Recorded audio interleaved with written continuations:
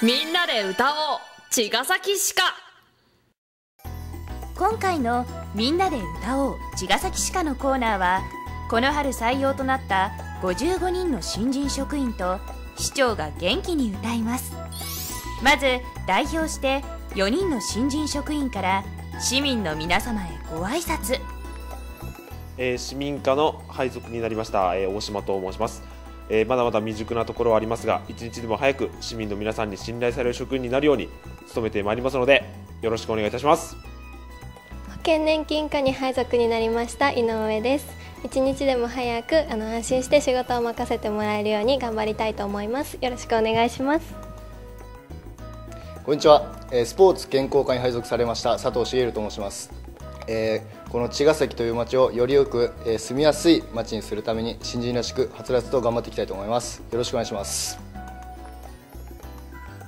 こんにちは。保育課浜須賀保育園配属になりました笹原よしみです。子どもの笑い声と市民の笑顔があふれるまちづくりを保育園から発信していきたいと思います。よろしくお願いします。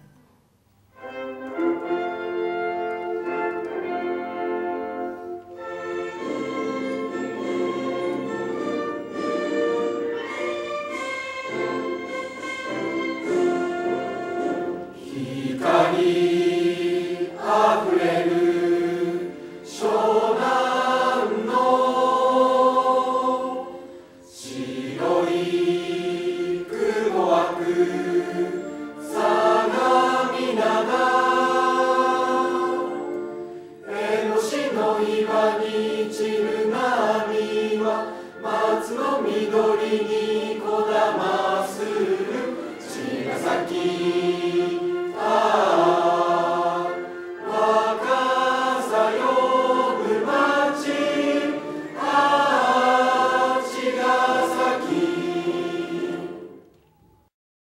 今日はこの春、茅ヶ崎市の職員になったえ55名の職員とともに茅ヶ崎市課をお送りしました。